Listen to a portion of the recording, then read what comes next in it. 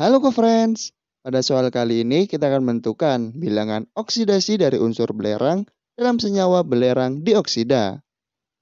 Untuk menentukan bilangan oksidasi dari unsur belerang ini, kita perlu mengetahui aturan Bilox berikut.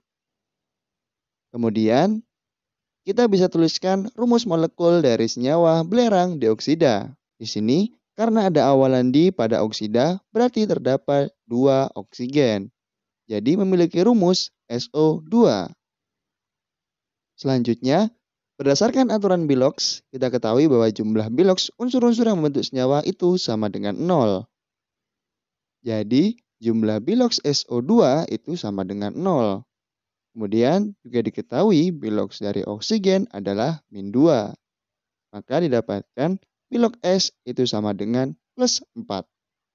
Jadi, Bilok S sebagai unsur belerang pada senyawa belerang dioksida itu sama dengan plus 4. Jadi jawabannya adalah E.